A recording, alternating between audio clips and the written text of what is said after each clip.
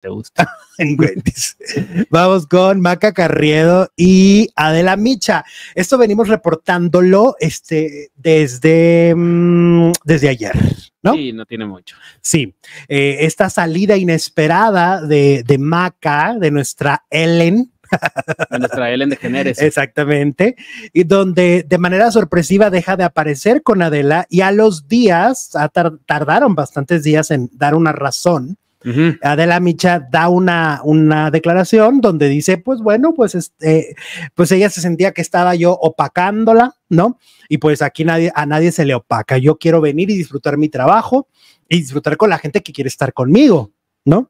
Y entonces ella da toda, toda una explicación. Este dijo que además Maca pues estará haciendo una nueva plataforma donde ella será la estrella, ¿no? Donde ella será la figura principal.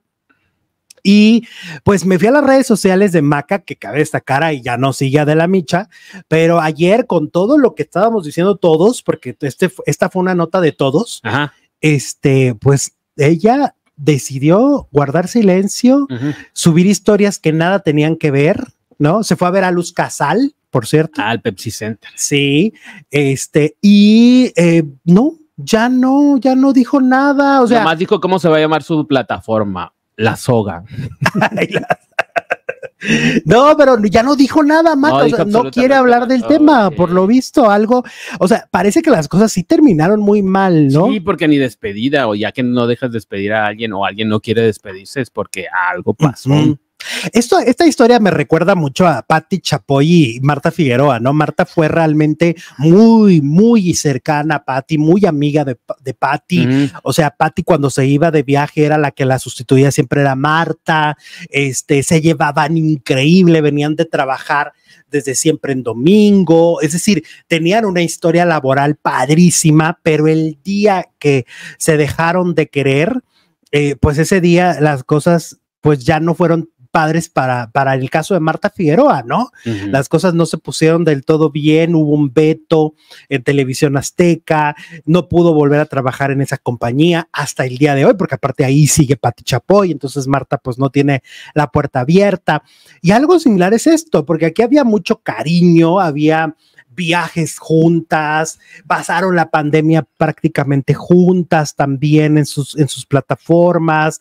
Eh, em, Adela, proyecto que hacía, la sumaba, o sea, de vamos a hacer radio, pues va Maca conmigo, vamos a hacer esto, va Maca conmigo. Ahora me pregunto yo, si terminaron mal, ¿cómo será Adela de enemiga? Eso sí, quién sabe, porque sí se le mete el Chucky. Sí, Sí. sí, pues con Marta Figueroa, precisamente. Ajá. Sí, sí, el Chucky sí, se, sí le, se le mete en su interior. Entonces en una de esas y sí se pone medio, o sea, puede ser que en algunos lugares la vaya ahí a medio dejar mal parada, ¿no? Sobre todo cuando le pregunten, oye, ¿cómo te fue con Maca? No, pues fíjate que me fue mal. Eso ya Me cierra recomiendas a. Maca. No, fíjate. que, bueno, Exacto. ya con que diga, "Mm, déjame pensarlo, hasta ahí llegaste. Ajá, eso ya cierra puertas. Ahora, Adela en este momento no tiene tanto poder como tenía hace algunos años, ¿no? Tal es así que pues no trabaja en ninguna televisora ahorita. Entonces, quién sabe. Pero de que tenga amigos, ah, tiene amigos. Y que luego a mi Maca se Claro, le de que pidan recomendaciones. Oye, quiero contratar a Maca, ¿la recomiendas? Ajá. Ups. Sí, sí, sí. Este, y, y bueno, Me pues, están recordando que cuando habló de Silvia Pinal, ¿qué tiene que ver, princesita?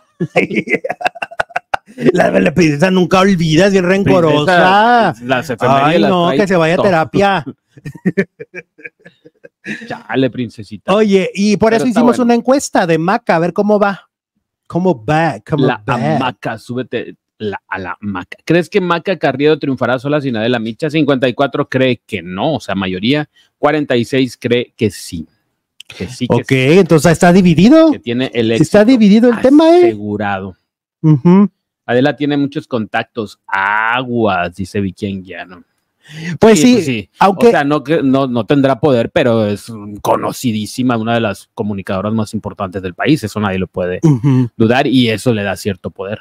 pues vamos a ver cómo le va este en solitario, en solista, digámoslo así, porque durante que la deje- cuatro, cinco años, seis, trabajaron juntas. Que la deje ser porque va empezando. Pues sí, No le meta el pie como a la Guzmán. o sea, también era, era, era válido decir, pues sabes qué, pues no quiero estar abajo tu sombra, ¿no? Mm, pues, quiero, quiero tener mi propia historia. Intereses. Exactamente. Pero bueno, ahora vamos con el